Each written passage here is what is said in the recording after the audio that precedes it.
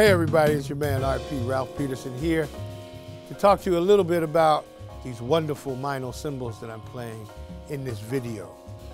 They're all from the Byzance series. And if I start over here on my right, we have the Vintage Pure 20 inch Crash or Crash Ride. I use it as a Crash Ride.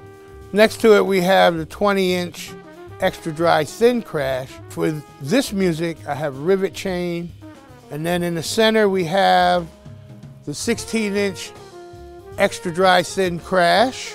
And for the hi-hats, I'm using 15 inch Extra Dry Dual hi-hats. Last but not least, and I saved these for last because I had a part in designing them, the 22 inch Symmetry Ride and the 21 inch Nuance Ride. Again, these are all from the Byzance series of Meinl cymbals. And so uh, I'm really happy with the variety of sound and, and colors that this cymbal setup gives me, and I hope you dig it too.